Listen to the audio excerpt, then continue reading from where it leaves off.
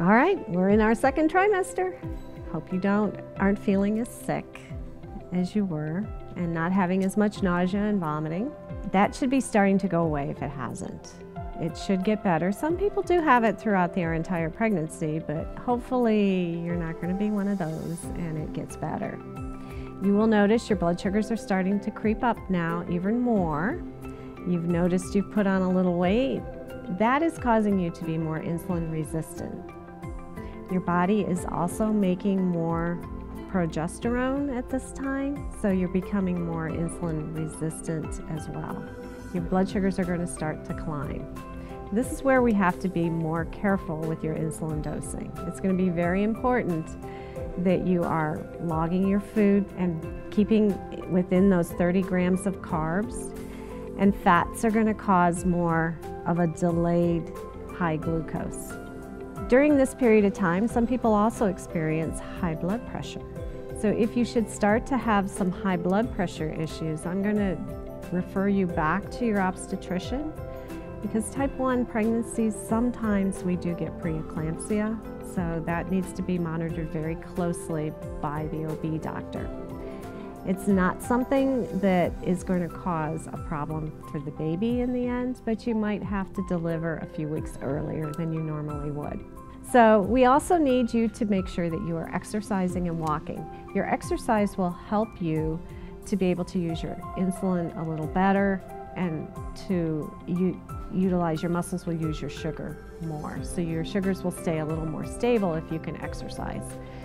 Not talking about starting to do an extensive, intensive exercise program, but if you could just walk 60 minutes every day, that'll definitely help your blood sugars. Your obstetrician will ask you to do a fetal echo. And what they're looking at are the chambers of the baby's heart to make sure the baby's heart is developing at the proper rate. They will also do another ultrasound or possibly two ultrasounds. Now they're starting to watch the baby's belly. And that's how they watch to make sure the baby isn't getting too much fat. Sometimes, because we have higher blood sugars, babies can start gaining weight now as they're growing in the second trimester. So they're going to want to keep an eye on that. If you keep your sugars at 95 or less in the morning and one hour after eating at 140 or less, the baby will grow perfectly at the right rate. So if you're going out to dinner and having a pre-baby shower kind of a dinner and your blood sugars go up to 190, I don't want you to get too stressed if this occurs. As long as it doesn't happen frequently, it's not going to harm the baby. As you reach the end of the second trimester, your baby now has grown from a lime to about two pounds. So you should be feeling movement in there, little butterflies, and that's the movement of the baby. The OB will monitor the baby's heart rate.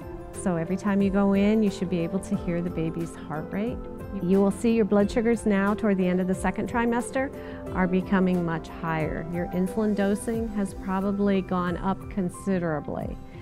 You may be taking one and a half times the amount of insulin that you took prior to getting pregnant. So don't be alarmed by that. And that can cause a little more extra weight, but that's normal. Baby's fine.